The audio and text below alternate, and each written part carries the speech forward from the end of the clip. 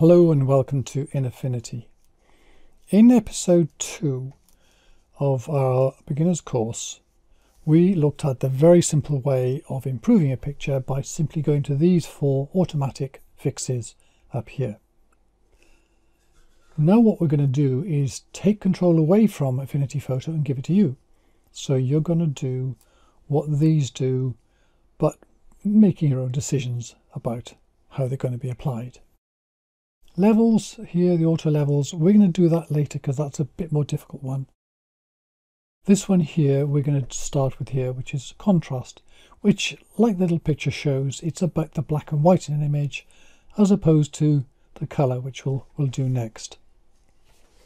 And there are quite a lot of ways that we'll get to about how you can affect the black and black and white, the uh, monochrome aspects of an image but today we're simply going to start with one, which is brightness and contrast.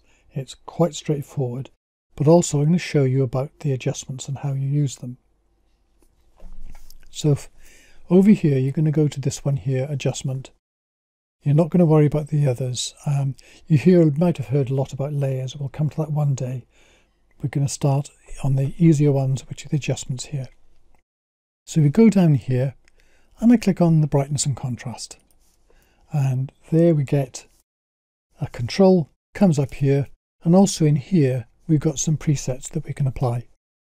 So the default is where start at the beginning, nothing's changed.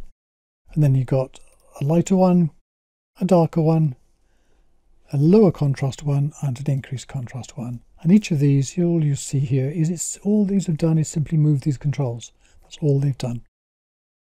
So we go back to the default which hasn't changed anything, and we decide now what it's going to do. Quite unsurprisingly, these are like the TV controls, where or any monitor or screen, you can turn the brightness up, and it gradually everything moves towards white.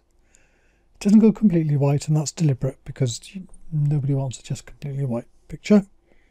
And as you turn this down, it gets more and more dark.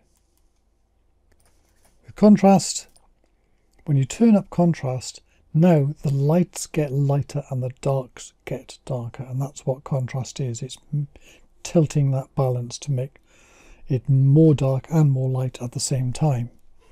And the opposite of it is everything sort of flattens, it goes greyer. You just literally are adding grey into the picture by kind of squeezing up the colours.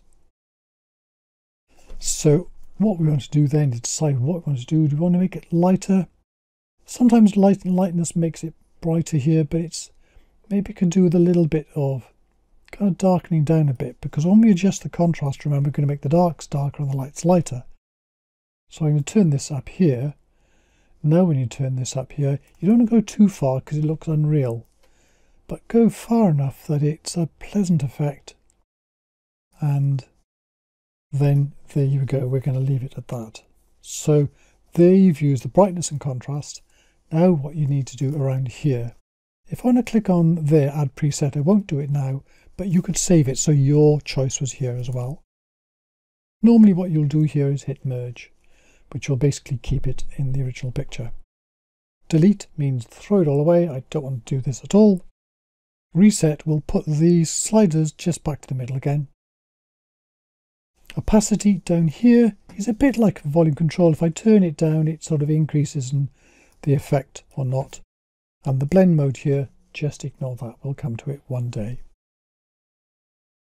So I'll just hit merge. And now I've kept it. Very quickly, we're going to just have a look at the effect of this. So now we're going to a gradient, and which is just gradually going from black all the way through to white. Now just watch what happens here. If I turn up the white, see it's sort of like the, uh, the brightness, the it, the white pushes across towards there. So what was a, a, a grey becomes much lighter. If I go back the other way, and now the black pushes its way across here, and what was quite light is now darker.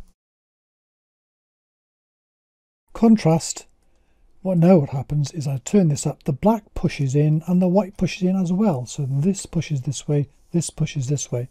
So you've got a very narrow band of grey in the middle. And then the opposite is the grey pushes outwards and the blacks get not so black and the whites get not so white. And that's how the contrast works in practice, and that's what we're doing just now. Okay, that's it for now, and thank you very much for watching.